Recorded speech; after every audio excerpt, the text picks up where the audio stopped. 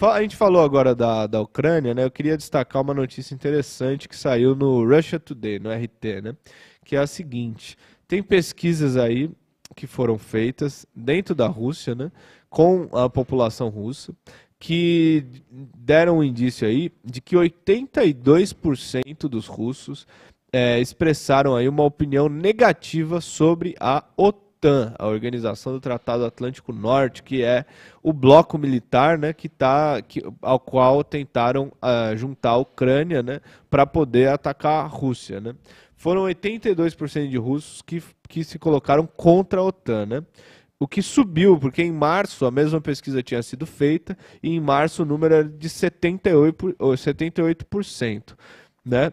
Aí é o seguinte, né? Aí tem várias graduações. Mais da metade desses 82% dizem que eles têm sentimentos muito ruins sobre a OTAN, enquanto 26% descreveram que a atitude é, é ruim, né? E 0% disse que a que a opinião deles é muito boa, né? Que eles são, acham muito bom a OTAN, né?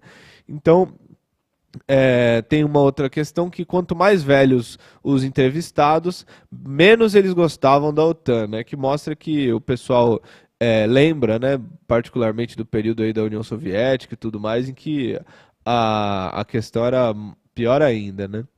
É, e também eh, subiu o número de, de russos que acredita que o país dele tem razões para temer a OTAN para 60%, né, que é um número aí que não era visto pela pesquisa desde 2014. Mostra que eles fazem essa pesquisa sempre, né, com relação à OTAN.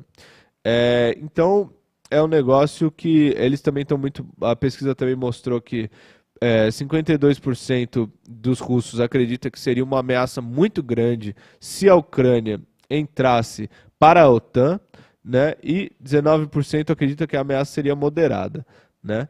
É, então mostra aí que menos, menos estão, é, tem menos russos também preocupados com a Finlândia, a Geórgia e a Suécia, né? Apesar de que todos eles, entre 55% e 58%, consideram que seria pelo menos uma ameaça moderada se esses países, né, Geórgia, Finlândia e Suécia, que são também é, vizinhos ali da Rússia, entrassem para a OTAN, né?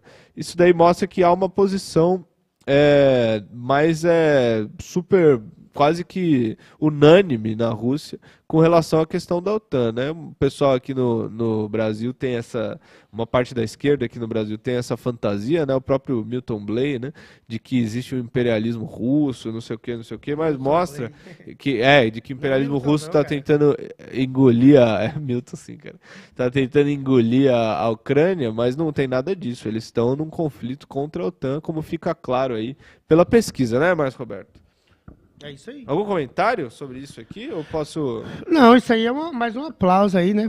Mostrando que o, que o, que o companheiro lá Putin está fazendo é maravilhoso, né? E a população está dando total apoio. Isso aí é interessante, né? A gente já sabia disso, né? Porque o, quando nossos companheiros que estão lá no front lá passaram pelas ruas, ver a letra Z, né? Por isso que tinha colocado a minha aqui.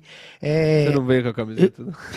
a letra Z nos carros, né? É, lojas de conveniência, vendendo adesivos, vendendo fotos do, do Putin, né? E etc, né? Total apoio a, a o que ele está fazendo com a Ucrânia, né? Você vê, imagina, o cara matou 300 nazistas esses dias aí, quem não fica feliz, né?